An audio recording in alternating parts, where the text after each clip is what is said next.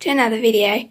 Today I'm going to be organising and showing you all of my hamster supplies. So let's get started.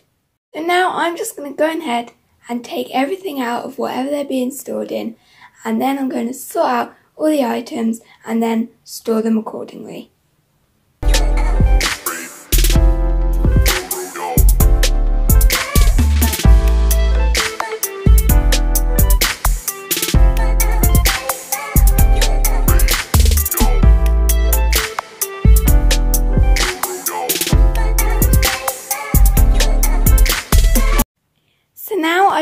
Out all of the items from their boxes and trays and whatever, and I've just laid it all out, and there's quite a lot, there's more than I thought there would be. So now what I'm going to do is separate them all into categories and maybe throw away some old things that I no longer need.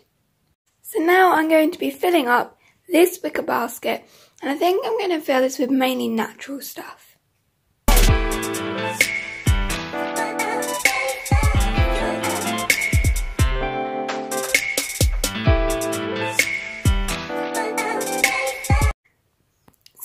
Much that I was able to get in this wicker basket. There's still quite a few little natural bits left.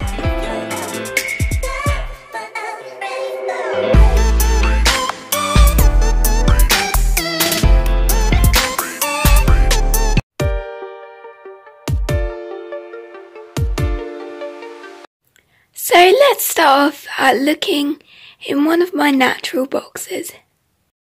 Here I have a grass nest, and next to that is this coconut thing. It's actually for reptiles. I don't really know why I bought it because I'm never going to use it, but it's there. And then I have this log piece, there's nothing under there, and then pieces of bogwood, a sand bath, some little things that I used to make something, but then it fell apart. Sad. And then we have a nesting bird pouch thing that I'm going to use to chip because it's nice and small.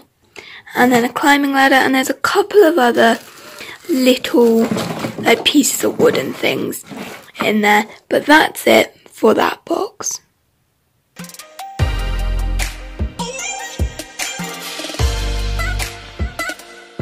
Now let's move on to this next natural box. And in here we have one of the playgrounds that I have that are built together. And that also came with a couple of the little dogs. There are a couple of those in here. Got a willow tunnel, or is it wicker? One of them. And then these edging things that I don't really use anymore. Oh no, I can't get it back in now. Oh, I'll do that in a minute. And then a coconut hangy thing, another coconut that gets hung. And then this is probably one of my favourite products that I actually own, which is this adorable little coconut house, which is for Chip, obviously, because it's really tiny. There's another little tunnel under there, and that's pretty much it for that box too. So then this box, I don't really know what to call it. I'm calling it my downstairs box because these are the only things that I really need to keep by my hamsters cages like all the time. So it's got their food, some millet, which is like a more regular treat, their treat box. There's basically loads of treats in here. And there's also like a sieve for sand and other necessities like that. Then we have this box which is basically full of all the spare food. So we have loads of seedy treats. There's, I think, like four bags of spare food in here, and more treats, and more nice things. And yeah, that's pretty much it for that box. I am then using this small spare cage to hold all the random bits because this cage doesn't really pack up any smaller, so I might as well use it to store stuff.